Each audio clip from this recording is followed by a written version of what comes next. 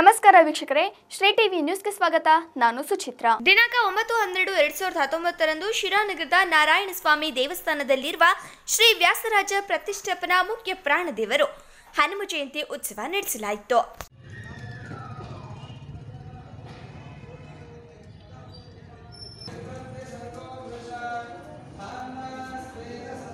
ಅದೇ ಮೂರನೇ ಅಧ್ಯಾಯದ ಸಾರ.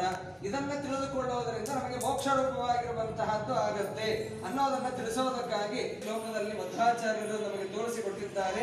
ಸಕಲ ಸತ್ಯಾಸ್ತ್ರಗಳ ನಿರ್ಣಯವನ್ನು ಕೂಡ ಒಂದೇ ಶಾಸ್ತ್ರ, ಒಂದೇ ಶ್ಲೋಕದಲ್ಲಿ ತಿಳಿಸಿಕೊಟ್ಟಿದ್ದಾರೆ. ಅಂತಹ ಶ್ರೀಮದಾಚಾರ್ಯರು ಹಾಗೂ ವಾಯುದೇವರಿಗೆ ಹೇಳ್ತಾ ಶ್ರೀಕೃಷ್ಣ. ಓಂ ಸ್ವಸ್ತಿ. ಓಂ ಸ್ವಸ್ತಿ. ಅಸ್ಯ ದೇವೋತ್ತಮಸ್ಯ ದೇವತಾ ಕೋಟಿ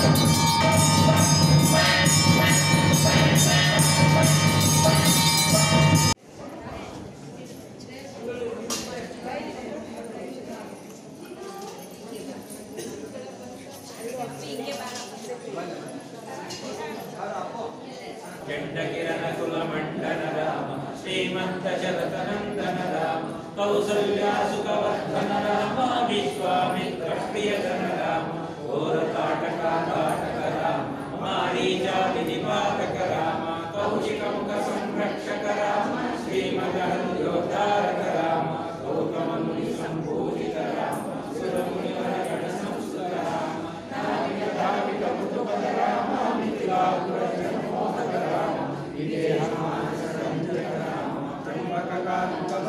Yeah.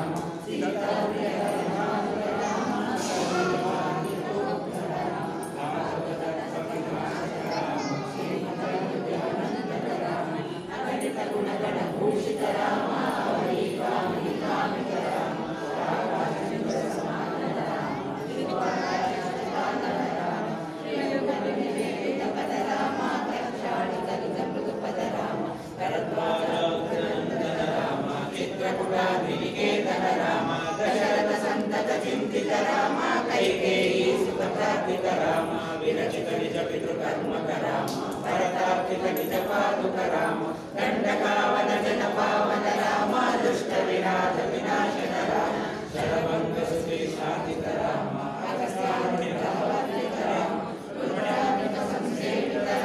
पञ्चवटी तपसुस्थित राम शूर्पणकालिकाय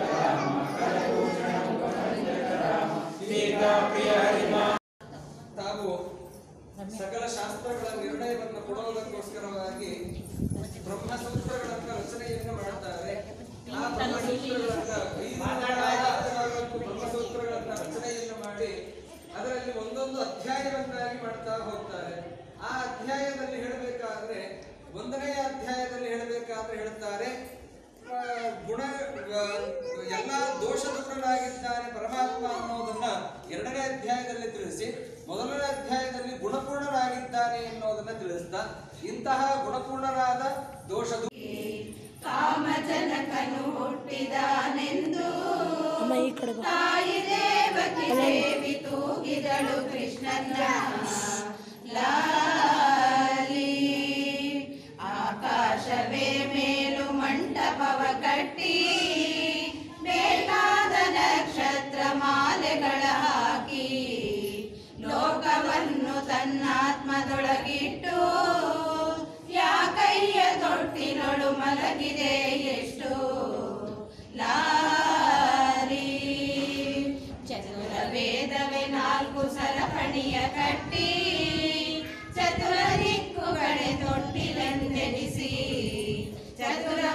ಕೈಯನೆ ಪವಡಿಸು ಎಂದು ಪುರಂದರ ವಿಠಲನ್ನ ಪಾಡಿ ತೂಗಿದಳು ಲಾಲಿ ಲಾಲಿ ಶ್ರೀ ಹಯವದನ ಲಾಲಿ ರಂಗ ವಿಠಲ ಲಾಲಿ ಶ್ರೀ ಗೋಪಿನಾಥ ಲಕ್ಷ್ಮಿ ಸಮೇತ.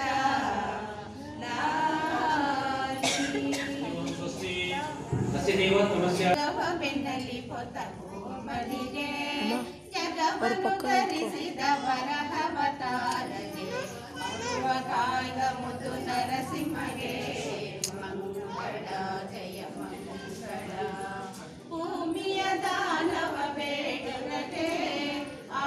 ಮಹಾಸುರರ ಗೆಲಿದ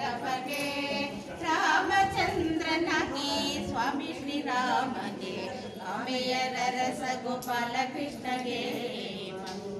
ಜಯ ಮಂಗಳ ಬತ್ತಲ ನಿಂತಿಹ ಬೌದ್ಧನಿಗೆ ಉತ್ತಮ ಹಯವದ ನೆನಿಪಶ್ರಿಗೆ ಹಸ್ತವತಾರದಿ ಭಕ್ತರ ಸಲಹುವ ಕರ್ತೃಶ್ರೀ ಪುರಂದರ ವಿಠಲನಿಗೆ ಮಂಗಳ ಜಯ ಮಂಗಳ ಲೋಕಾ ಸಮಸ್ತ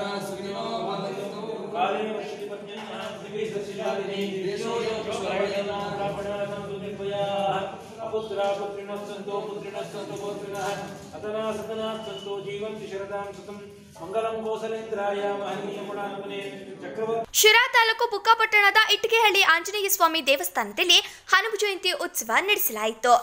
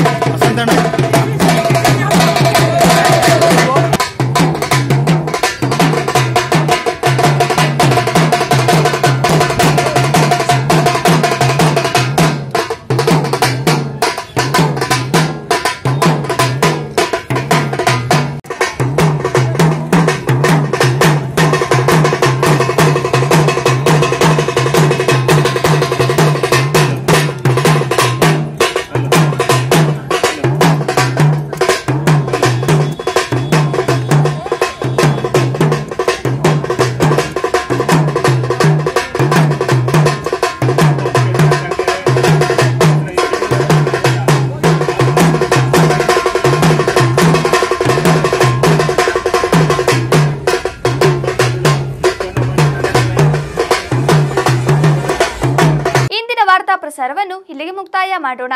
ನಿರಂತರ ಸುದ್ದಿಗಾಗಿ ನೋಡ್ತಾರೆ ಶ್ರೀ ಟಿವಿ. ಇದು ಜನಪರ ಧ್ವನಿ.